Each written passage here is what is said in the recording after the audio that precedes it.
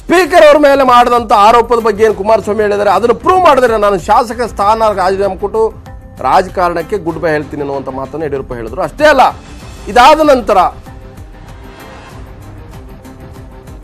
ಸುಭಾಷ್ ಗುತ್ತೇದಾರ್ ಕೂಡ ಈ ಆಪರೇಷನ್ ಹಸ್ತ ಆಪರೇಷನ್ ಜೆ ಡಿ ಎಸ್ಗೆ ಬಲಿಯಾಗುವಂಥ ಪ್ರಯತ್ನ ನಡೀತು.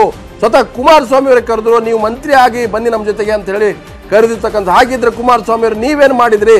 ನೀವು ನಮ್ಮ ಶಾಸಕರನ್ನ ಆಮಿಷ ಒಡ್ಲಿಲ್ವೇ?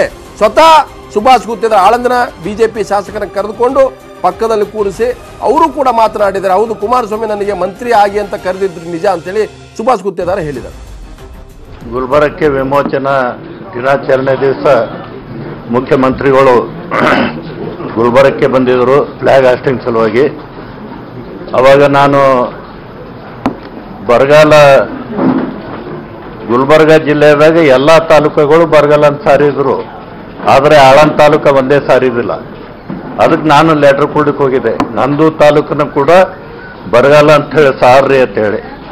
ಅವಾಗ ಸಾರ್ತೀನಿ ಬಾ ಅಣ್ಣ ಬಾ ನೀ ನನ್ನ ಹತ್ತಿರ ನಮ್ಮ ಇದಕ್ಕೆ ಬಾ ನೀನು ನಿನ್ನ ಕೈಲೇನೆ ಸಾರಿಸ್ತೀನಿ ಅಂತ ಹೇಳಿದ್ರು. ಬರಗಾಲ ಅಂತ ಹೇಳಿ. ಅಂದ್ರೆ ಕರೆದ್ರು ನನಗೆ ನೀನು ನಮ್ಮವನು ಮೊದಲಿನವನು. ಏನು ಆಮೇಲೆ ಅದೇ ಮಂತ್ರಿ ಮಾಡ್ತೀನಿ.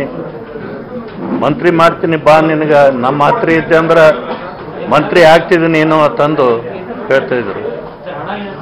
ಹಣದೇನು ಹೇಳಿಲ್ಲ. ಮಂತ್ರಿ ಮಾಡ್ತೀನಿ ಅಂತ ಹೇಳಿ. ಸೊ ಒಂದು ಕಡೆ ಆಡಳಿತಾರೂಢ ಪಕ್ಷದ ಸದಸ್ಯರನ್ನು ಸೆಳೆಯುವಂತ ಪ್ರಯತ್ನದಲ್ಲಿ ಬಿಜೆಪಿ ಮುಳುಗಿದೆ ಅಂತೇಳಿ ಜೆಡಿಎಸ್ ಕಾಂಗ್ರೆಸ್ ಆರೋಪ ಮಾಡುತ್ತೆ. ಇನ್ನೊಂದು ಕಡೆ ಬಿಜೆಪಿ ಶಾಸಕರನ್ನೇ ಸೆಳೆದು ಈ ಸರ್ಕಾರ ಉಳಿಸೋದ್ರಲ್ಲಿ ಕಾಂಗ್ರೆಸ್ ಮತ್ತೊಂದು ಕಡೆ ಸಿಎಂ ಕುಮಾರಸ್ವಾಮಿ ನಿರತರಾಗಿದ್ರು.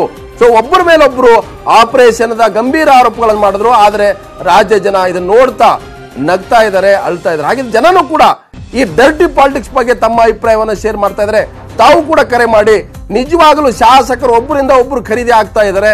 ನಿಮ್ಮ ಕ್ಷೇತ್ರಗಳನ್ನ ಮಾರಾಟಕ್ಕೆ ಇಟ್ಟಿದ್ದಾರಾ ಇವರು ಆಯ್ಕೆ ಆಗಿರೋದು ನಿಮ್ಮ ಸಲುವಾಗಿನ ಅಥವಾ ಅವರ ಅಭಿವೃದ್ಧಿಗಾಗಿನ? ಅವ್ರ ಉದ್ಧಾರಕ್ಕಾಗಿನ?